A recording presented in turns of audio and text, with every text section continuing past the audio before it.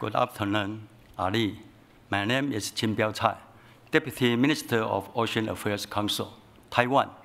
I'm very honored to represent Taiwan to announce our commitment toward a safe, just, and secure ocean.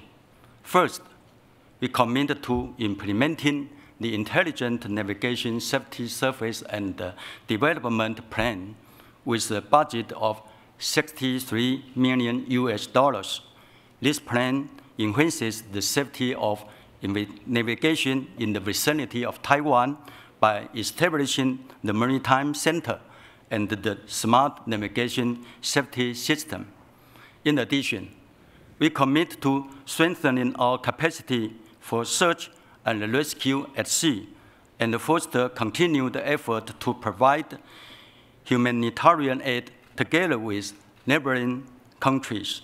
Lastly, we are also committed to cracking down on cross-border criminals, especially drug smuggling.